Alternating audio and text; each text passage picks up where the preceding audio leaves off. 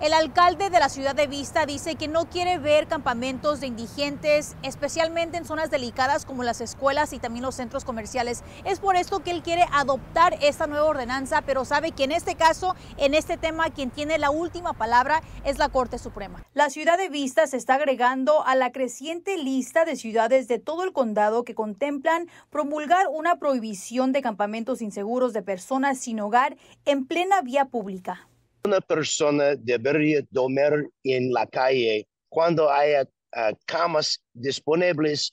El alcalde de Vista, John Franklin, aclara que ninguna persona sin hogar será multada si hay camas disponibles. La ciudad llegará a un acuerdo con cada individuo y en vez de multar, estas personas tendrán que someterse a tratamiento de adicción e ingresar a un albergue. Las áreas cercanas a nuestras escuelas y parques deben ser nuestros niños y familias no para acampar